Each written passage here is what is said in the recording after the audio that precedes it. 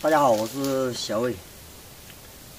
其实小伟，很多人一直以来总是还是不了解我，以为小伟什么两面插刀，还有人说小伟始终被小木收买啊。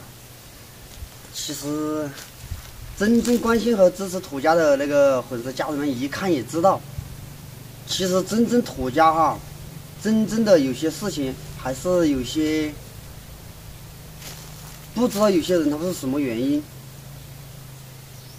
他就那么的看不得，其实是看不得整个土家啊。现在就成了几个帮派，那个粉丝成了几边倒啊，有些支持谁家，有些支持谁家，也有支持我的。其实今天在这里，小狗狗还有一个小狗狗过来打伴儿来了。小伟想给家人们说句什么事呢？二零一八年哈，小伟身上揣的这个红本子，二零一八年十二月五日，这是一个村民代表证啊。其实这个证没有什么权限的，也有一点点那个。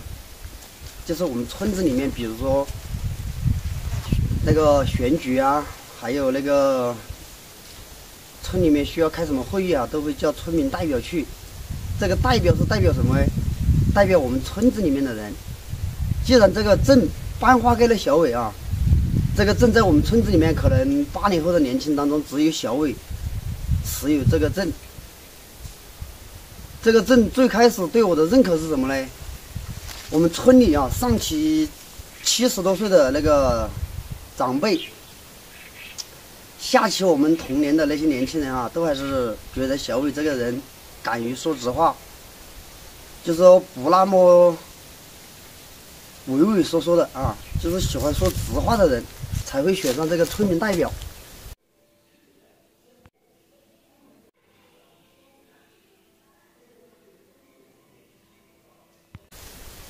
在这里，我可以向全网的粉丝家人们说明一点，说明一点什么呢？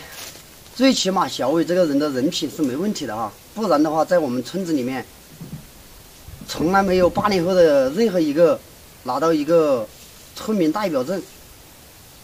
为什么要把这个村民代表证推选给我呢？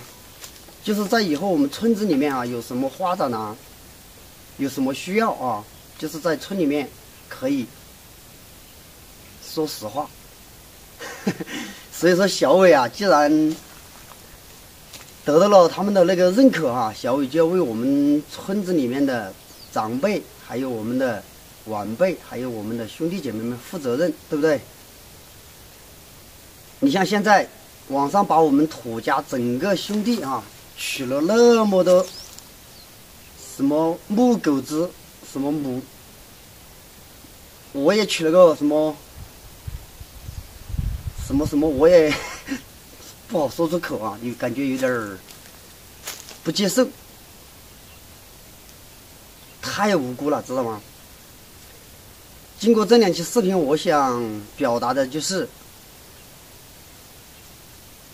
说心里话啊，像我做自媒体，只是为了记录我、我爸、我哥、我孩子我们的一家的生活，一般都没有去拍过别人。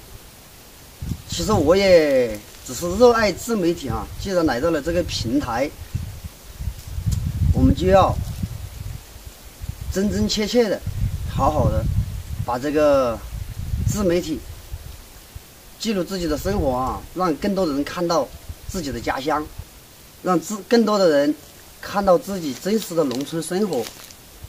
生活有喜有悲，有哀有乐。不像有些网友，不知道他们是总会说别人那个什么什么的啊。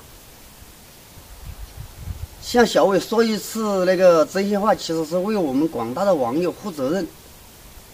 明白的啊，还有通情达理的网友都明白。我不想在我们的自媒体背后有那么多的那个隐藏。既然是记录真实的生活，就展现真实的自己。不管小伟啊说出了谁的真话，其实我觉得人这一辈子嘛，对不对？为什么要去演扮自己过日子呢？对不对？真实一点最好嘛。很多人，但是往往说真话的人，总会被人喷哈。其实被人喷也无所谓。这条路上，我觉得有必要啊，就是像我这样的人走下去，还还那个大家以后喜欢看短视频的家人们一个干净而温馨而真实的一个自媒体。其实我的想法是这样子的，但是呢，一直以来哈，自从小木从我们村子里面走红之后。虽然说村子里面陆陆续续都有人拍自媒体，其实这个自媒体嘛，对不对？哪家哪户都可以拍的，拍的好，拍的不好，你记录你的，他记录他的就可以了。但是自从小伟从九寨沟回来啊，其实我感悟到，你像小伟以前很多人说什么什么的，去年的西瓜那个铺内打榜，小伟也没有靠任何人，拿到了。差两个名额啊，就是去年的那个西瓜 play 在三亚，今天的那个西瓜 play 在九寨沟。小伟真的是靠着自身的那个辛苦创作两年的成果，得到了一部分粉丝网友的认可和支持，去到了九寨沟。到到九寨沟之后，我看到了那么多五湖四海的创作人哈，那么自信，那么成功，我我觉得这个自媒体。是一个不错的选择，所以说我坚持哈，哪怕一个人拍视频，我都还是每天坚持更新，把视频尽量的去把它做好，做真，啊，体现出我们三农的那个风貌、风土人情。但是有些网友始终就在我们土家的兄弟当中哈，你家家人们也看到了，我们土家有那个那么多账号在做自媒体，总是有粉丝在挑拨哈。打着什么口号支持谁支持谁？其实近一段时间哈，几个月以来，得到了很多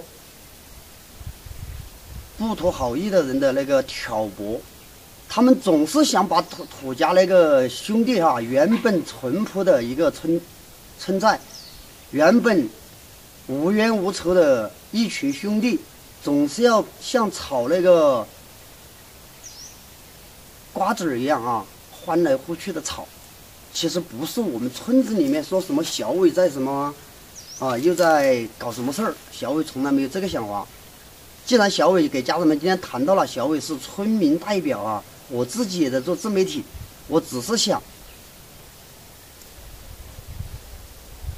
我们村子里面的人团结起来，不要因为别一个人说支持你。就去损坏啊，去那个跟其他兄弟走远，以为你已经有人支持了，不需要这帮兄弟了。其实说真心话，十年过后、二十年过后，大家兄弟走到一起，再回想起这段自媒体的过程的话，我想有些人可能会高兴，有些人可能会觉得。自媒体啊，如果说这样长期发展下去，像我们土家那些兄弟姐妹的话，可能也是自媒体把我们的情感全部给抛远了。